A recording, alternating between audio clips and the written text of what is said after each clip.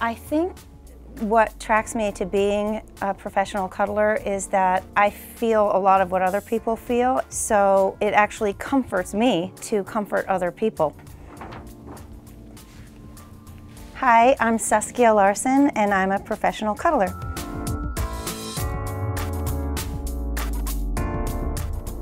I've been a professional cuddler for about three years now. So when I introduce what I do to people, and I'll say professional cuddler, or I'll say touch practitioner, or I'll say therapeutic touch practitioner, nobody really knows what that is. Uh, the word cuddling, professional cuddling, that phrase kind of goes, what? You know, it's a little, how is that possible? But I do think human beings are continuing to evolve and become more open and understanding about what basic human needs are. And touch is a basic human need.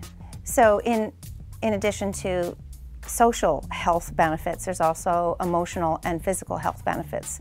I think just overall, um, my clients feel better. A large part of emotional and mental health is getting enough touch in your life. Emotionally, they feel better, their anxiety goes way down.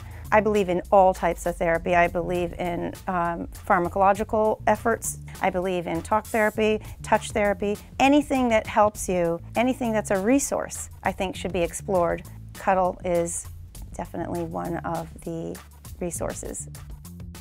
One of the reasons that I wanted to start this company is that when you're feeling incredibly disconnected, or incredibly lonely. To have that kind of connection can spark sort of a change of consciousness, which can allow real healing to happen. So I firmly believe that we're here on earth for human connection. A lot of us have a hard time making connections. And so just like I can drop down in meditation and sort of get to a different place, by being physically present with someone else, it's the quickest way to feel, to get more in touch with yourself. Our intention is to be radically accepting of another person and to bring our full presence there. So what we do and what we find is that you go from a stranger to not a stranger incredibly quickly. If you are a person who thinks maybe I should try, you know, therapeutic touch and cuddle sessions, and you think about what's going on in my life, it could be that you just feel like something is still missing and you're not sure what it is. It may or may not be that you need more touch, but it might be. Cuddle therapy, you're dealing with two people who have already talked on the phone, already given a background on each other, gotten to know each other a little bit. Both are agreeing to hold each other in some way, um, and both are agreeing to be vulnerable and in a safe space.